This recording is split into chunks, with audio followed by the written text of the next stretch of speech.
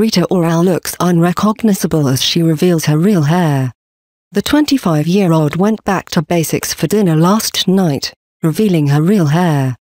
Over the past few months we have seen Rita Ora transform her hair week after week on The X Factor. But yesterday the singer revealed a very different look her natural hair, as she went for dinner at Pizza Express. The 25-year-old ditched the wigs and weaves she more commonly wears opting instead for a chic pixie cut. Adding to her different appearance she opted for grunge makeup, swapping her usual red lipstick for a dark maroon one.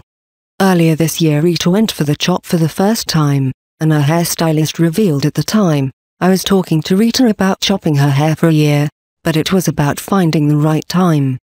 Then at 2 in the morning, I was working on her hair, and we had been doing it for hours, and she just said, I think it's time. Since then she has been using various wigs to create her dramatic hairstyles. Meanwhile Rita has revealed she doesn't know if she'll return to the X Factor in 2016. She said, I haven't thought about it. I am just looking forward to my holiday now. I am going to go on a massive food spree with my parents and eat as much as I can. I love turkey.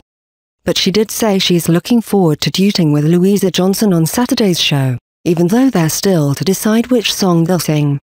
She told the Sun newspaper, it is nice to do it with someone I really like. We want this performance to be about celebrating how far she has come and to get people to vote. We need to find the right song. We haven't got much time.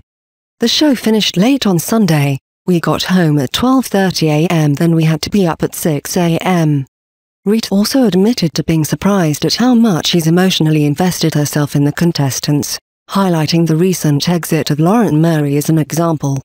She said, I am sad about Lauren. You start really caring about these people. I didn't expect it to be as intense. It is a lifestyle.